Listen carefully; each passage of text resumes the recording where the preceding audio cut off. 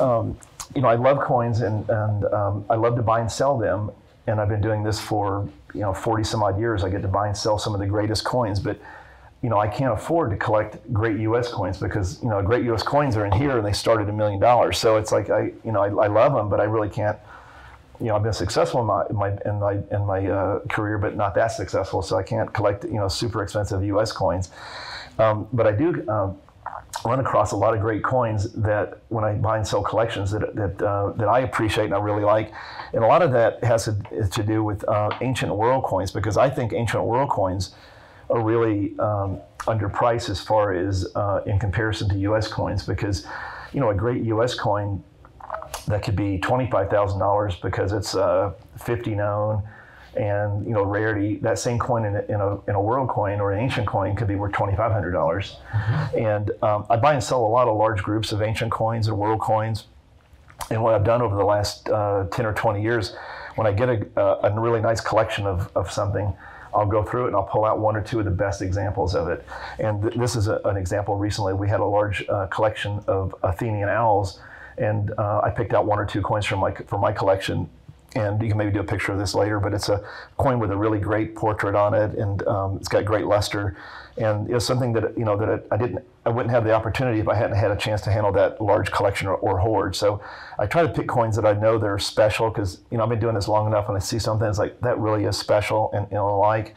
Um, this is another example. It's a 1751 8 Escudo from Chile in mint condition. This is a coin I bought in a collection of U.S. coins, and the guy had this, and I said, well, this is you know, if I went to sell it, it's probably worth three thousand dollars. But to me, if that was a U.S. coin, it'd be worth thirty thousand dollars. So I'm like, well, you know, maybe someday that you know, as well as I started this a while back, and it's already happened. Coins around the world have become more popular, and more people are doing those. And it's you know, my strategy has has been has been good because more people are interested in those kind of things. You know, you know they like uh, you know as different economies around the world uh, get uh, strong. It's, it's like. Uh, 20 years ago, if you'd have bought Chinese coins, you know, they were almost free compared to what they are now. I mean, there are coins that are worth $500 are worth $25,000 now. So as, as economies grow around the world, that can, that can be really good.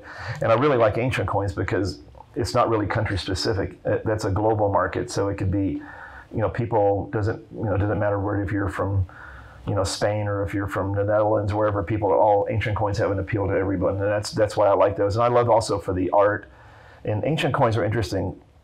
They don't just sell for rarity and condition, they also sell, they're like pieces of art themselves. It's like the style of the coin, uh, they, you know, how well they're centered. So they, they, they almost trade like fine art. And these coins are, you know, these are done by an artist. You know, this coin here is 440 BC.